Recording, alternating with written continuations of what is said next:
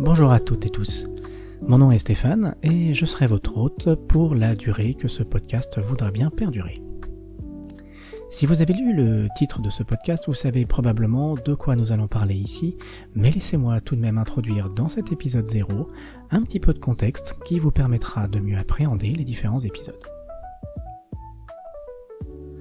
Un jour de mars 2015, j'ai eu des papillons dans le ventre à l'idée de recevoir des SMS d'une fille parce que on se rapprochait et que notre relation d'amitié était sur le point de basculer vers quelque chose de nouveau. Et puis un beau jour, comme ça, presque sans prévenir, huit ans plus tard, je suis devenu ce qu'on appelle communément un daron. En effet, le 9 juillet 2023, cette fille, Raphaël, alors devenue ma femme, m'a offert l'un des plus beaux cadeaux une petite fille, flambant neuve, hein, toute option. Nous sommes aujourd'hui en août 2024 et cette petite a fêté son premier anniversaire il y a déjà presque un mois. Et quelque part, lorsque c'est enfin arrivé, de notre côté avec Rafa, on s'est dit, eh ben dis donc, on a survécu à la première année.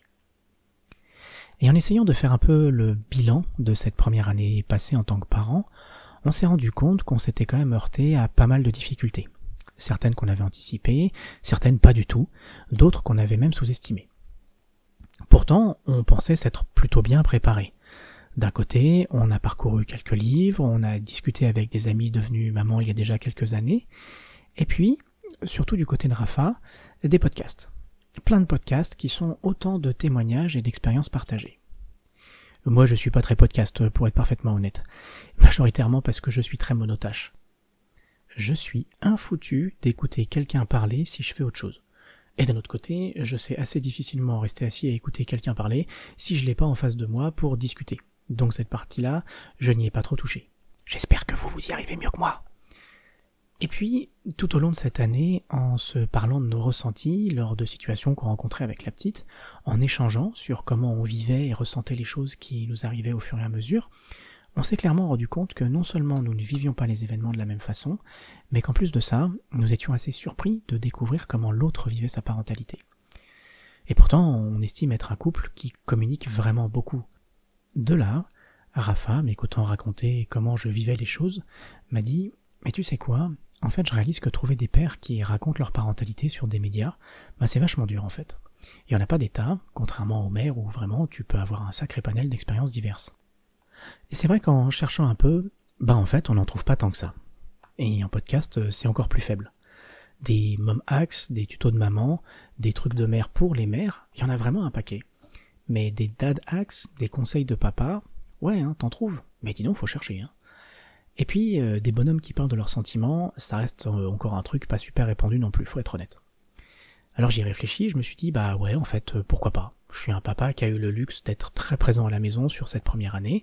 J'ai passé beaucoup de temps avec ma petite, j'ai participé à beaucoup de premières fois, et même si j'avais la tête dans le guidon toute cette première année, eh ben, je pense avoir suffisamment de recul pour pouvoir partager un peu de mon expérience, de mon ressenti en tant que papa.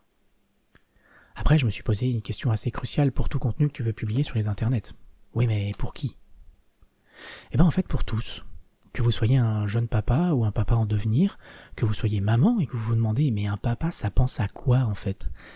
Que vous soyez non papa ou non maman et que vous êtes juste intéressé par un type qui cherche à être un bon père et qui profite de sa paternité pour essayer aussi de devenir un meilleur être humain, que vous êtes juste tombé par là par hasard et que vous êtes curieux ou curieuse, soyez les bienvenus.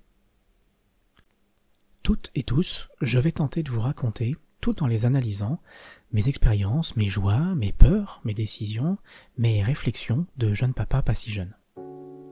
De l'évolution de mon mindset sur la paternité jusqu'à aujourd'hui, en passant par l'annonce, la grossesse, l'accouchement, la maternité, le retour à la maison, les premiers mois, la place des autres, le retour au boulot, les premières vacances, je vais essayer de balayer et de décortiquer un maximum de choses que j'ai pu vivre dans ma paternité.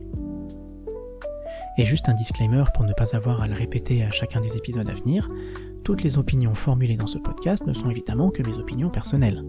Elles ne constituent en aucun cas un jugement de valeur envers d'autres personnes ayant des opinions divergentes des miennes ou ayant pris des décisions différentes des miennes.